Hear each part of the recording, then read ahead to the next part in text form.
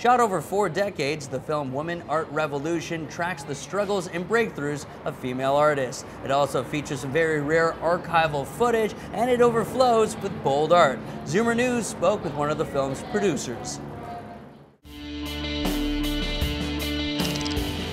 Women Art Revolution is really um, an amazing film that talks about um, Lynn, who is both an artist and a filmmaker. She was at Berkeley in the late 1960s and she started to have women coming by, literally sitting on her couch talking about their experiences as artists at that time, right up until the present, is what comprises Lynn's film. We were juggling identities, living encrypted lives, covertly as artists, beneath the surface of visibility.